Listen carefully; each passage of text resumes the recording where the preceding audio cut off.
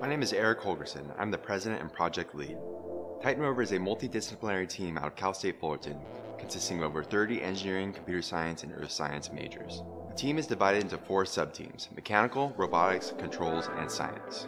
Using the invaluable lessons learned in last year's competition, every single system and subsystem was assessed for its ability to meet all the competition requirements. It is with great pride to present Titan Rover's 2017 platform, Atlas.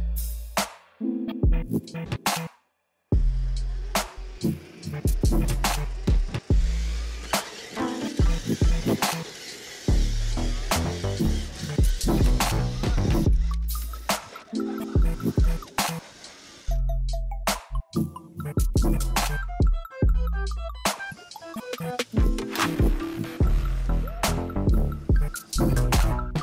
This year's chassis consists of welded aluminum, square tubing with structural supports to ensure the chassis remains light and will be able to withstand any worst case loading scenario in the field.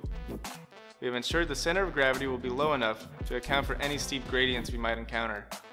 The length and ride height were also designed and simulated to ensure that the rover will have the clearance for a half meter drop with minimal impact load.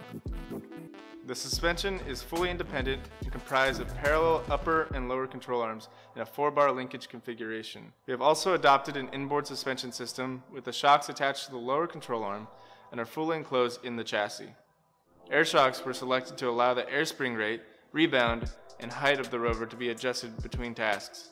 We developed our own in-hub wheel and motor assembly to allow the motors to be protected from collisions.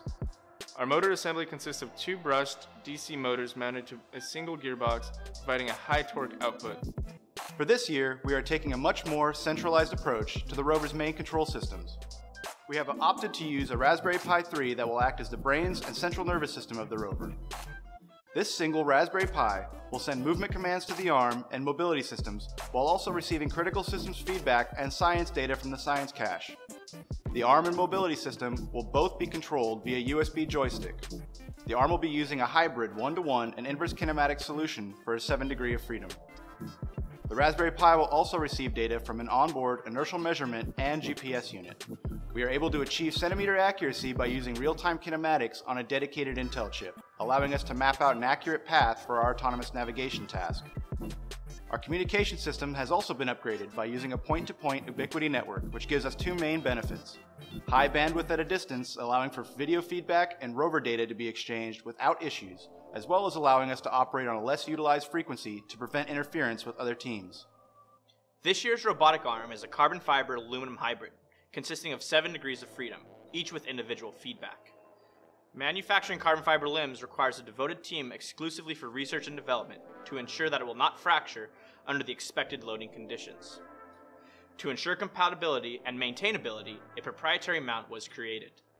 This wristwatch mount provides a universal mating of the joints to the carbon fiber, allowing for alternative attachments such as a science cache device to be installed with ease.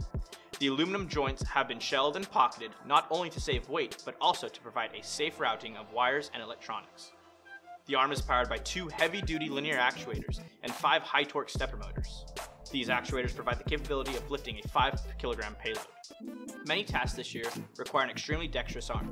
For this, we have implemented an unlimited 360 degree rotating wrist that will allow for simplistic execution of any screwing applications that we may encounter in competition.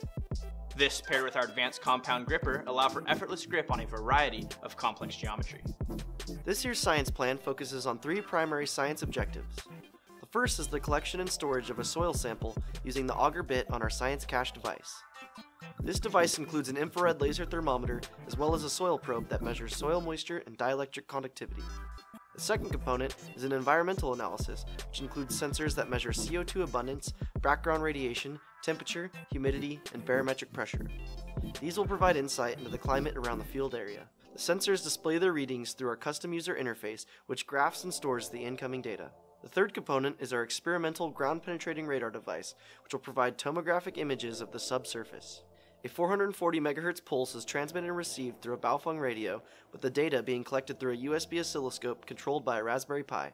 Radio reflection times are then displayed using GPR software to give insight into subterranean structural and hydrological features. We are currently testing different antennas for the best wave propagation that will ensure the deepest penetration depth with minimal systems interference.